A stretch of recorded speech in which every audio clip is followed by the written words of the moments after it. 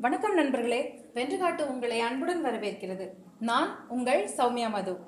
TNPSC உள்ளிட்ட போட்டித் தேர்வுகளில் எளிதாக வெற்றி பெற வைக்கிற முக்கியமான காரணி தான் கணக்கு. அதனால கணக்கில் அதிகமாக கவனத்தை செலுத்துங்க படித்ததை மறக்காமல் மனசில் நிறுத்துங்க. சரியா? இன்னைக்கு நம்ம ரெண்டாயிரத்தி பத்தொன்பது டிஎன்பிஎஸ்சி தேர்வு குரூப் ஃபோர்ல கேட்கப்பட்ட வினா ஒன்று தான் பார்க்க போறோம். அதுக்கு எப்படி எளிமையா விடையளிக்கிறது அப்படிங்கறத இந்த வீடியோல உங்களுக்கு நான் சொல்ல போறேன். சரியா? இரண்டு மிகை எண்களின் வர்க்கங்களின் வித்தியாசம் நாற்பத்தி ஐந்து. சிறிய எண்ணின் வர்க்கமானது பெரிய எண்ணின் நான்கு மடங்கிற்கு சமம் எனில் அந்த எண்களை காண்க. ஆப்ஷன் ஏ மூன்று மற்றும் பதினைந்து. ஆப்ஷன் பி ஒன்பது மற்றும் ஐந்து. ஆப்ஷன் சி மூன்று மற்றும் பதினாறு. ஆப்ஷன் டி ஒன்பது மற்றும் ஆறு. ஸோ நமக்கு என்ன கொடுத்துருக்காங்கன்னா ரெண்டு எண்கள் இருக்குது அந்த ரெண்டு எண்களை வந்து வர்க்கம் அதாவது ஸ்கொயர் பண்ணா அதனுடைய வித்தியாசம் ரெண்டுக்குமான வித்தியாசம் நாற்பத்தி ஐந்து அப்படின்னும். அதில் இருக்கிற சின்ன எண்ணோட வர்க்கம் இருக்கு இல்லையா? அது எதுக்கு சமம்னு பார்த்தீங்கன்னா பெரிய எண்ணோட நான்கு மடங்கிற்கு சமம்னு சொல்லியிருக்காங்க. ஸோ இந்த ரெண்டு கண்டிஷன் தான்.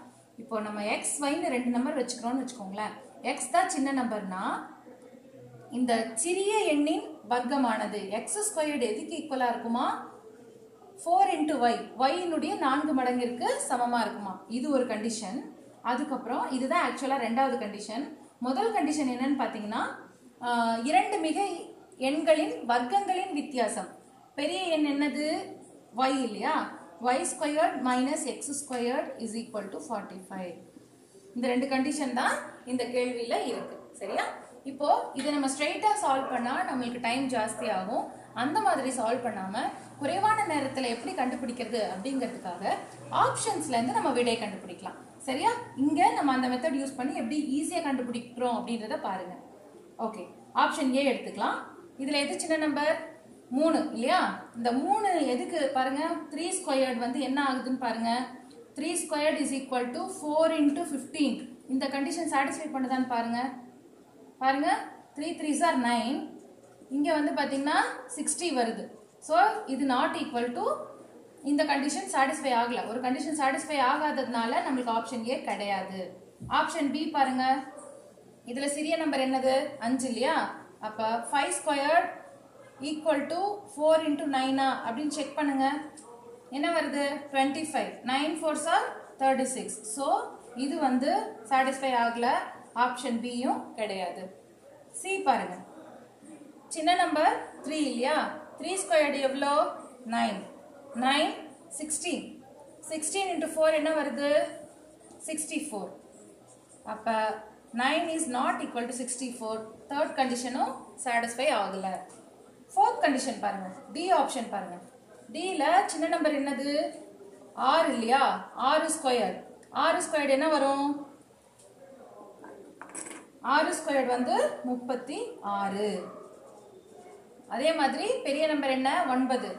ஒன்பதோட நான்கு மடங்கு இல்லையா? ஃபோர் இன்ட்டு நைன் ஈக்குவலாக இருக்கா? ஆமாம் ஈக்குவலாக இருக்குது ஒரு கண்டிஷன் சாட்டிஸ்ஃபை ஆயிடுச்சு மூணையும் செக் பண்ணிட்டதுனால இதுதான் ஆன்சர் ஓகே இன்னொரு கண்டிஷனும் சாட்டிஸ்ஃபை ஆகுதான்னு பாருங்க. ஒய் ஸ்கொயர்ட் ஒய் ஸ்கொயர்ட் என்ன?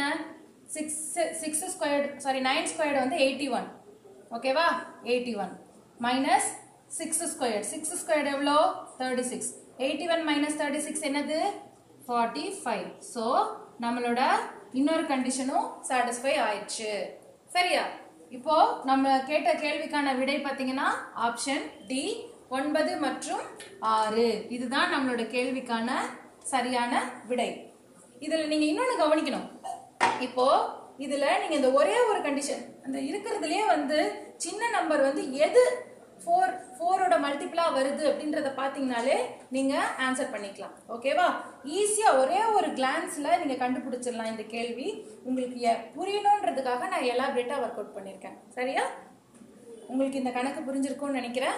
ஒருவேளை புரியலனா இந்த வீடியோவை முதல்ல இருந்து பாருங்கள் மறுபடியும் பார்த்துட்டு தெரியாததை மனசில் நிறுத்திக்கோங்க. சரியா? மீண்டும் இன்னொரு வீடியோவில் சந்திப்போம். நன்றி வணக்கம்.